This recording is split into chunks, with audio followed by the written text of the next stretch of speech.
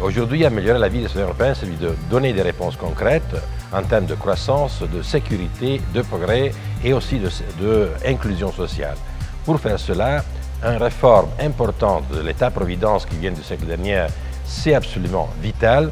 C'est vital pour lui permettre de répondre aux demandes des citoyens et surtout pour activer toute initiative nouvelle des citoyens, des entreprises et des communautés locales.